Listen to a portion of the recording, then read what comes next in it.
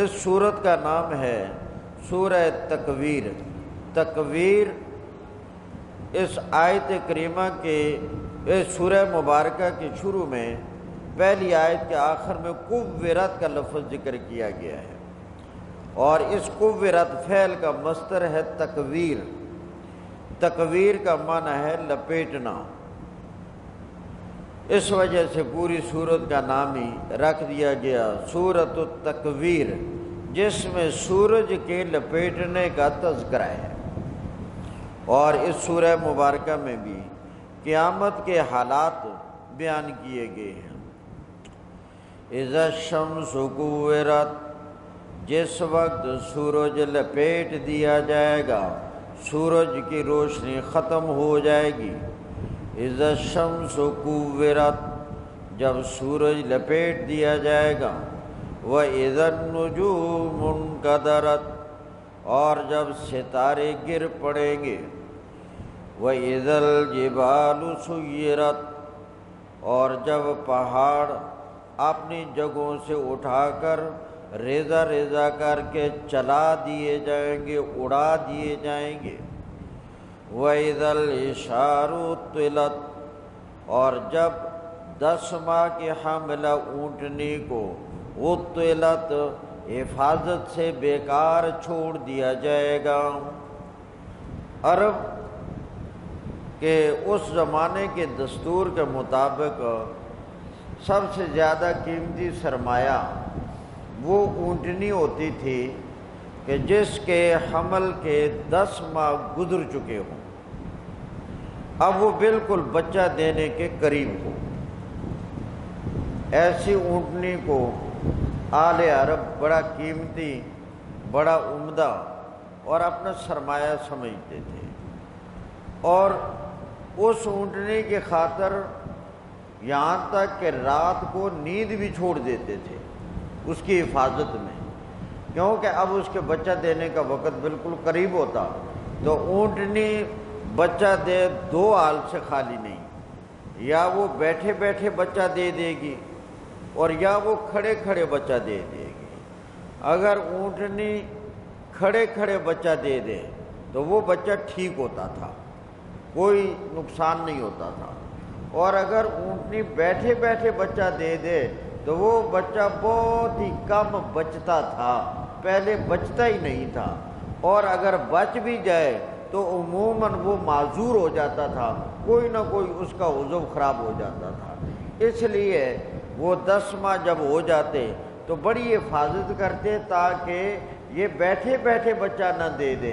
अगर इसके बच्चा देने का वक्त आए और वो बैठी हो तो उसे उठा दिया करते थे, ताकि वो खड़े खड़े हालत में बच्चा जन्म दे। इसलिए ज़िक्र किया, जब क़्यामत आएगी वैजल इशारुत और जब दस माह की हामिला ऊँटनियों को हिफाजत से बेकार छोड़ दिया जाएगा। वैजल वहूशरत और जब क़यामत आएगी, तमाम बख्शी जानवर शहरों के अंदर इंसानों के साथ जमा कर दिए जाएँगे। जब क़्यामत का आगाज़ होगा इस कदर दहशत होगी कि सहराओं में और जंगलात में जो वहशी जानवर हैं वो वहशत की वजह से वहाँ से भागेंगे शहरों की तरफ़। और इंसान उन जानवरों से भागता है जानवर उस इन, इंसान से भागते हैं मगर क़्यामत की घड़ी में दोनों जमा हो जाएँगे। वैजल वहूशरत और जब वहशी जानवर जमा कर दिए जाएँगे इंसानों के साथ शहरों में, आबादियों में, वैजल बिहारूफ सुजरत और जब समंदर भी भड़का दिए जाएँगे, सारे समंदर जो इलादा इलादा हैं, ये सारे उबलने, जोश की वजह से अपनी हदों को तोड़कर एक हो जाएँगे।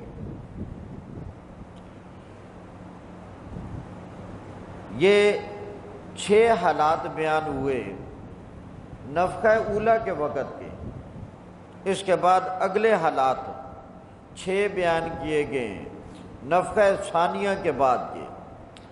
वैजन्नफूस जुव्वजत, और जब नफ्सों को जोड़ दिया जाएगा, जब जानों को जोड़ दिया जाएगा, यानी जब उठाए जाएँगे तो चोरों का टोला अलग कर दिया जाएगा, बद किरदारों का टोला अलग कर दिया जाएगा, जालमों का टोला अलग कर दिया जाएगा, मक्कारों का टोला अलग कर दिया जाएगा।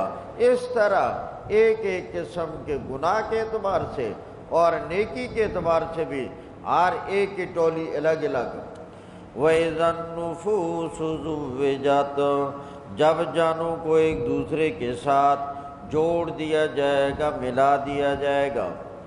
वज़ल मऊदत सुलत और जब ज़िंदा दरगोर की हुई बच्ची से पूछा जाएगा बे जम बिन कुतिलत, बता किस गुनाह की वजह से तुझे कत्ल किया गया? जमाने जाहलीत में बच्चियों को ज़िंदा ही दरगोर कर दिया करते थे। वैज़ा सहफ नुशरत, और जब सहीफे खोल दिए जाएँगे। नामा अमाल की किताब हर इंसान की खोल दी जाएगी, और उसके सामने होगी पड़ेगा। वैज़ा सहफ नुशरत, और जब सहीफ़तुल अमाल, नाम अमाल के रजिस्टर खोल दिए जाएँगे। वैदमा कुशित और जब आसमान की खाल उतार दी जाएगी कोशित खाल का उतारना। आज हम आसमान की तरफ़ निगाह उठाते हैं, हमें नीला नज़र आता है और उस दिन ये नीली खाल उतार ली जाएगी, आसमान सुरख नज़र आएगा। जैसे सूरह रहमान में आपने पढ़ा, फैजन शक्कत समाऊ फ़कानत वरदतन कद्यहान गुलाबी हो जाएगा, सुरख चमड़ी की तरह हो जाएगा। वैज़त समाऊ कुशित और जब आसमान की खाल उतार ली जाएगी, नीली खाल ख़त्म हो जाएगी, सुर्ख नज़र आएगा। वैज़ल जहीम सुरत और जब जहन्नम को भड़का दिया जाएगा वैज़ल जन्नत उजलिफत, और जब जन्नत को करीब कर दिया जाएगा। आलिमत नफसुन, जान लेगा हर इंसान। माजरत जो भी उसने अमल हाजिर किया। अच्छा अमल, बुरा अमल हर इंसान को। वो महसूस हो जाएगा और नज़र आ जाएगा। फला बिलखुन्नस फला, बात ऐसे नहीं है काफिर हो जैसे तुम समझ रहे हो कि क्यामत नहीं आएगी। फला, ऐसी बात नहीं है जो तुम समझ बैठे हो। उकसम बिलखुन्नस मैं कसम उठाता हूँ सितारों की। फला उकसम बिलखुन्नस मैं कसम उठाता हूँ पीछे हटने वाले सितारों की अलजवार, सीधे चलने वाले सितारों की अलकुन्नस गुरूब हो जाने वाले सितारों की। सितारे ये दो किस्म के हैं आसमान में। एक सितारों को कहा जाता है सवाबित। वो अपनी जगहों में व्यवस्थ होते हैं। हरकत उनमें नहीं होती। दूसरे सितारे वो कहलाते हैं सयारात, जिनमें हरकत होती है। वो आज कहीं, कल कहीं, रात के किसी हिस्से में कहीं और किसी हिस्से में कहीं। तो एक सितारे हैं सवाबित, जो एक जगह पे वस्त हैं टिके हुए हैं, उनमें हरकत नहीं होती। और दूसरे सितारे होते हैं सयारात, यानी हरकत करने वाले। पीछे आपने कुरानी मजीद में पढ़ा है कि ये लोग सितारों के ज़रिया आपने रास्ते मालूम करते हैं। इससे मुराद वो सितारे हैं जो सवाबित अपनी जगहों में पेवस्त होते हैं। रास्ते उन सितारों के ज़रिए से मालूम हैं। जो सैारात होते हैं, उनसे रास्ता कभी मालूम नहीं होता। और यहाँ जो अभी मैंने आयत का तर्जुमा किया और सितारों की कसम उठाई गई है, इन सितारों से पाँच सितारे मुराद हैं। जोरा, जोहल, उतारित, मुश्तरी। ये पाँच सितारे इनसे मुराद हैं। इन सितारों की बड़ी अजीब हरकत होती है। इसीलिए इनको जो फल्कियात के मायर हैं उनकी अतलाह में कहा जाता है, खमसा मुतहरा वो पाँच सितारे के जो इंसान को हैरान कर देते हैं, ये सीधे चलते हैं। और इस तेज रफ्तारी के साथ और सीधे जाकर अचानक ये उसी अपने खत पर वापस पीछे हटते हैं। आगे जाने की रफ्तार भी वही होती है, पीछे हटने की रफ्तार भी वही होती है और ज़र्रा बराबर उस खत से दाएँ बाएँ नहीं होती। और पीछे सीधे हटकर, फिर ये सीधे जाकर गुरूब हो जाते इन सितारों की हरकत ने हैरान कर रखा है, समझ नहीं आई कि इसमें क्या हमत है, क्या इसका फ़ायदा है, क्या इससे बताया जा रहा है। तो अल्लाह करीम ने इन पाँच सितारों की कसम उठाकर कहा, जिस तरह ये तुम्हारा मुशाहदा होने के बावजूद तुम्हें इन सितारों ने हैरान कर रखा है, मगर इनकार तो तुम नहीं कर सकते। फरमाया, इसी तरह मेरे पाक पैगंबर जिस रास्ते पर हैं और इनको जिस दहार से रब का कुरान मिल रहा है, तुम उसको उसी तरीके से मानो, जिस तरीके से खमसा मुतहरा तुम्हारी समझ में नहीं, मगर मानने पर मजबूर हो, मेरे नबी की नकलो हरकत, जब्राइल अमीन का कुरान लाना और इस किताब की कैफियत, इन पर भी गौर खोज करके तुम्हारी समझ में आता है या नहीं आता, मानने पर मजबूर हो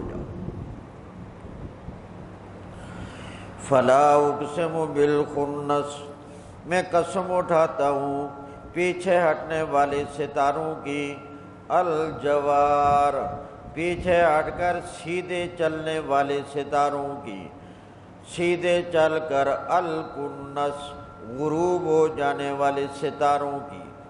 वल्लैली इदासस और कसम रात की जब वो चली जाए। आशा आशा चली जाए।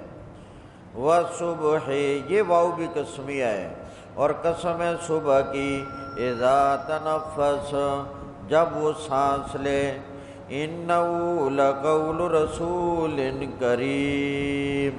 बेशक ये कुरान करीम अलबत् कौल रसूल करीम का। इससे मुराद जब्राइल अमीन है। जी कुत बड़ी कुत वाले। हज़रत जब्राइल ने कौम लूत की बस्तियों को अपने पर ज़मीन पर मारकर, नीचे से उठाकर, आसमानों के करीब ले जाकर, वहाँ से पटक कर मारा। जिल अर्श, वो बड़ी कुत वाला है, अर्श वाले के नज़दीक, मकीन, साहिब मरतबाए मुतन बात उसकी मानी जाती है, फरिश्ते उसकी ताबेदारी करते हैं। सब माँ वहाँ आसमानों में अमीन, अमानतदार हैं। वमा साहिबुकुम बेमजनून, और तुम्हारा साथी मजनून नहीं है। यहाँ साहिब से मुराद, रसूल करीम सल्लल्लाहु अलैहि वसल्लम की ज़ात गिरामी है।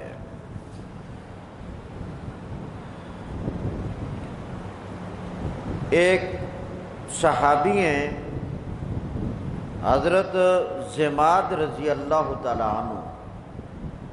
मशहूर सहाबा में से हैं। ये मक् मुकरमा से पाँच दिन के सफ़र की मुसाफत पर दूर रहते थे। यानी मक्का से जमाद के इलाके में जाने के लिए पाँच दिन लगते थे सफ़र करने में। जमात को एक खबर मिली कि जो लोग खाना काबा के मुतवली हैं, उनका कोई बच्चा है और वो मजनून हो गया है, पागल हो गया। तो जमात अपने ज़माने का एक माया नाज दम करने वाला मुआलिज था, जो पागलों को दम करता था तो वो ठीक हो जाते थे। अल्लाह का अमर। इसको जब ये खबर मिली कि खाना काबा के मुतवलियों का बच्चा है तो खाना काबा के साथ एहतराम तो था और मुतवलियों की भी फिर कदर थी। इसने कहा, चलो। और इसकी फ़ीस ठीक ठाक होती थी। तो कहा, चलो, मैं खुद सफ़र करके जाता हूँ खाना काबा के एहतराम में। और बग़ैर फ़ीस के जाकर मैं उस पागल बच्चे को दम करके आता हूँ ताकि वो ठीक हो जाए।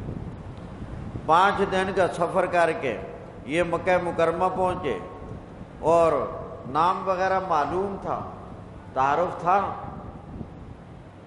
तो जब बताया गया, नबी करीम सलाम के बारे में कि वो पागल वो खाना काबा में अल्लाह के पाक पैगंबर उस वक़्त बैतुल्ला के सामने बैठे, रब का कुरान पढ़ रहे थे। और ये करीब आया और मिला, कहा कि मैं आया हूँ तुम्हें मिलने के लिए। तुम सुना है पागल तो मैं पागलों को दम करता हूँ, वो ठीक हो जाते हैं। मेरा नाम शायद तुम्हें मालूम ना हो, मैं जमात हूँ। इन्होंने कहा कि आप मुझे इजाज़त दें, मैं आपको दम करूँ। तो नबी करीम सलाम मुस्कराए, फरमाया, मैं पागल नहीं हूँ। लोग तो कहते, पागल है? कहा, नहीं, मैं पागल नहीं फिर इसने कहा अच्छा आप मुझे कुछ सुनाएँगे? नबी करीम सलाम ने फरमाया हाँ सुनाऊँगा। फिर नबी करीम सलाम ने खुतबा इरशाद फरमाया, जिस तरह जुमे का खुतबा होता है। और वो खुतबा इरशाद फरमाने के बाद फिर नबी सलाम ने सूरह तारक की तिलावत की जो आगे आ रही है, सूरह बुरूज के बाद, सूरह तारक की तिलावत की जब खुतबा अभी चल रहा था, जमात ज़ारो कतार रो रहा था और जब सूरह तारक की तलावत ख़त्म हुई, कहने लगा, खुदा की कसम, ना ये मजनून है और ना ये कलाम पागलों का है। ये तो माफोकल बशर कोई कलाम है। फिर नबी करीम सलाम से कहा कि आप सच बताएँ, आप कौन है? क्या मसला है ये? फिर बताया कि मैं अल्लाह का रसूल हूँ। मैं अल्लाह का नबी हूँ। सारी बात बताई तो जमात ने कहा, पहले तो फिर मुझे कलमा पढ़ाए। उसी वक़्त कलमा पढ़ा और मुसलमान। वमा साहिबुकुम बेमजनून, और नहीं है तुम्हारा साथी ये मजनून। वाला कदर और अलबत् ताकीक देखा है जब्राइल अमीन को बिल उफुकिल मुबीन। आसमान के ऊपर वाले खुले किनारे में, वमा हुआ गईब। और नहीं है वो नबी करीम सलाम गैब की बात बताने में बखील। बेजनीन बखील। जो गै, हमसे जो चीज़ गायब है, अल्लाह हमसे गायब है। अल्लाह के नबी ने बता दिया, अल्लाह है। जन्नत हम से गायब है। अल्लाह के नबी ने बता दिया जन्नत है जहन्नम हमसे गायब है। अल्लाह के नबी ने बता दिया जहन्नम है मलाइका हमसे गायब है। अल्लाह के नबी ने बता दिया मलाइका है। वमा हुआ गईब बिजवनीन। जो जो अल्लाह की तरफ़ से गैब की बात मालूम होती है वो नबी बखील नहीं है, और बता देते वमा हुआ बेकूल शैतानरजीम और ये कुरान करीम शैतान मरदूद का कौल नहीं है। फ़ैन तजाबून? तुम कहाँ जा रहे हो? कुरान को छोड़ कर है लोगो। इन हुआ नहीं है ये कुरान करीम। इल्ला ज़िक्रुल्लिलालमीन मगर ये नसीहत है जान वालों के लिए। लिमन शामिनकुम उस आदमी के लिए जो चाहे तुम में से अस्तकीम के सीधा रास्ता हासिल करे।